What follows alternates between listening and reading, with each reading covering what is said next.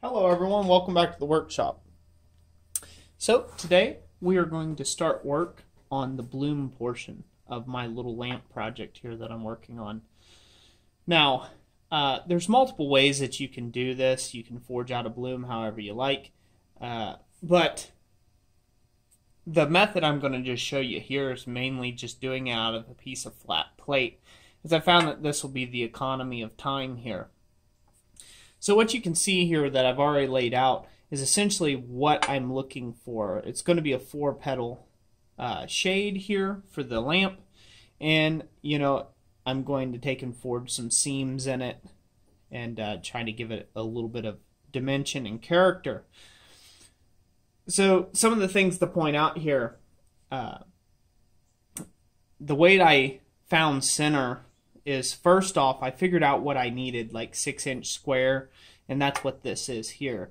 And then what I did is I drew diagonals from corner to corner, and then that gives me my center point. But then I also took and then brought up my my speed square and went from left to right and front to back. Now, I did this all in soapstone just so you could see it. Otherwise, I would have just done it with a, you know, a pretty much a scratch awl or a scribe. so I would have done that. Then I went one step further. So I need a recess where the bulb is going to be. So once I figured out kind of the general dimension and what I'm looking for here, I kind of just drew in some, you know, some 45s degree cuts to give me some space for my leaves a little bit. And then that's essentially it. But the next thing that I went ahead and did is I took a pair of dividers and I found the center of this point and went ahead and scribed me out two circles. Now, what this is supposed to give me is essentially a bullseye of where to take and hit in this leaf pattern blank here itself. So the inner circle is where I'm aiming to take and drive back. And then the outer circle is where I'm wanting to cut my lines actually back to. So these are kind of, these are fake. I want them to come back a little further to give the leaves more gap in between them. So we'll go ahead and do that. Now one of the things I'm going to do that you'll see in the video is you'll see I'll just take and go way off course on this. You have to remember you want to get it generally all nice and even, but this is supposed to be an organic form, so it is okay if you take a little artistic liberty when it comes to shaping your petals when you first start at flat plate. So I'm going to do this on the plasma cutter. the way I laid this out is to where you could actually just use a cut-off wheel on an angle grinder to cut all this out of a piece of flat plate. So this is very easily done with that. I just happen to have the luxury of a plasma cutter, so I'm just going to go ahead and plasma cut this out. Um, and then we will actually get to forging the petal itself. Okay, everybody, here we are.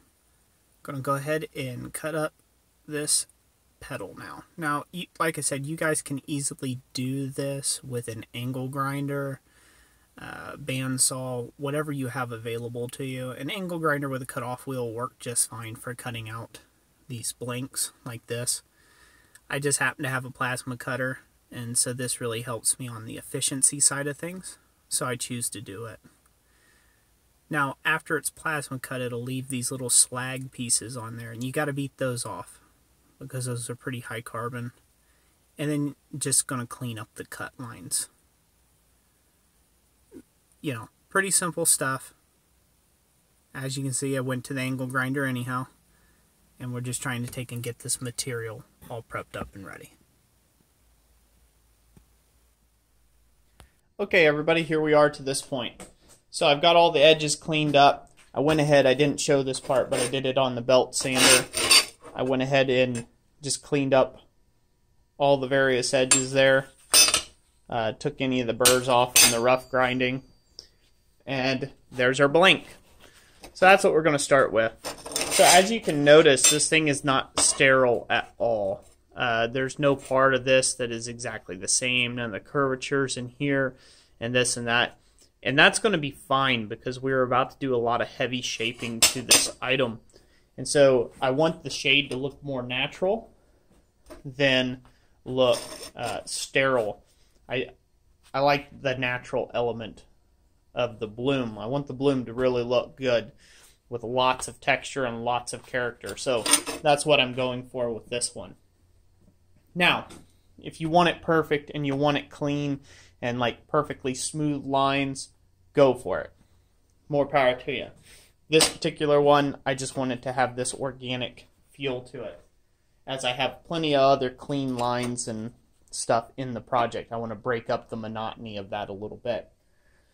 So next step, we're going to go ahead and throw this in the gas forge. I'm going to go ahead and get the whole piece heated up, and I'm going to start hammer texturing the each one of the uh, petal portions itself. Okay, here's our first heat. So, our main objective here is to just hammer the petals themselves. Try not to hit in the center, as this will look bad. We don't need all that texture continuing down in there. We're going to blend that with the other bit of the hammer. Or essentially the flat of the face of the hammer instead.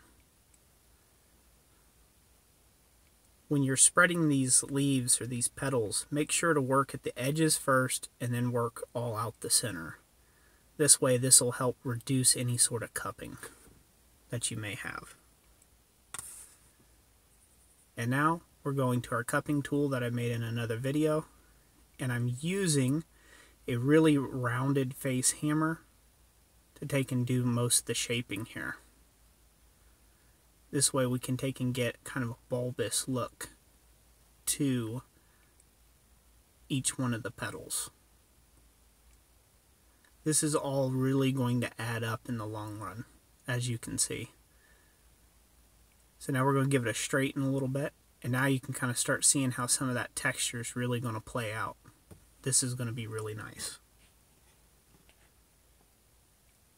So now we're going to sink the center of the shade itself. Being very careful not to ruin the texture or getting any galling on the actual petals of the shade. And then we're just going to continue to refine it until we get it done here. Okay, everyone, time to catch you up. So, I've got my bloom completely shaped now, the way I want it. There's our depression for our light socket.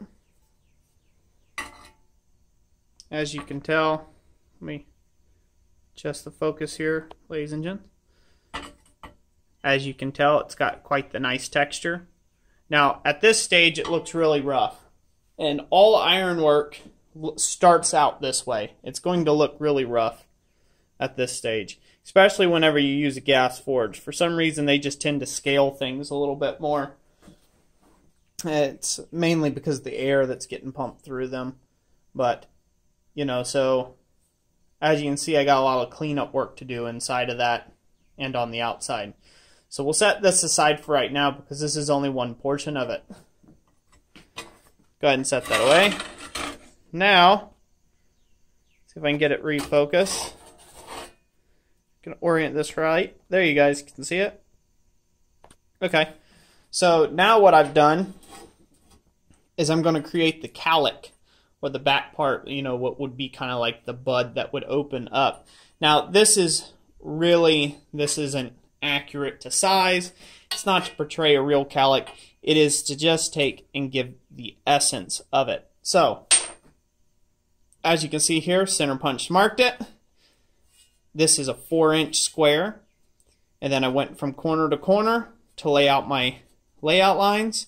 And then 12 degrees off center. That way and that way is what created those petals there. Oh. So if you put your if you put your speed square on there, it has degrees on there on hip val you can take and come off center 12 degrees. So from here to here is 12 degrees. From here to here is 12 degrees. All the way around. So, what it'll be after we get done forging it, well, who knows. But it will look textured and look pretty. So I'll go ahead and get this cut out, and then I will form this little bit, and then that will be it. And here we go again with the plasma cutter. Taking cutting out our little calic here. I tell you what guys, I can't tell you enough how much efficiency a hand torch like this, a plasma cutter, can really speed up some of these decorative ironwork jobs. It really makes it handy. And we'll go ahead and clean up all that slag edges with the belt sander. It was easier than with the angle grinder this time around. And the next step, we're going to go ahead and form this up after we get all those smooth. I'm switching to a much smaller crosspeen, still hammering in the same direction as the little blade. As you can see, it takes a lot of little hammer strokes and a good amount of accuracy. So this way you don't beat the death out of your anvil face. If you're not comfortable with this, just use a mild steel block for this. Now we'll take it through its stages of shaping, a little scroll, and we're done. Okay, everyone, so here we are. We have everything pretty much getting ready to be assembled. So I finished up the bloom. I'm shooting this with the wide angle lens, so things are a little pixelated here, but sorry about that. So we finished up the bloom, all the components for that. There's the calic portion. It's going to sit on there like so. Give you a little preview of that. That'll make it look a little more original. Our stem work for the lamp's done. Our leaf work down low's done. And our base is done. Next part will be the welding. I'll do a video on that. We'll go ahead and weld all this up. We'll do the assembly work. And then the video just following that, if you're watching in the future, these will all be linked up in the description and at the end of this video. The one after that will be the wiring video and how I will wire this all up and hide all the wires and make this thing look intelligent, like it was intelligently done. So anyways, that's it for today. I hope you guys enjoyed that video, and uh, I greatly appreciate all my subscribers. Thank you all for taking the time to watch. God bless you, and we'll catch you on the next one.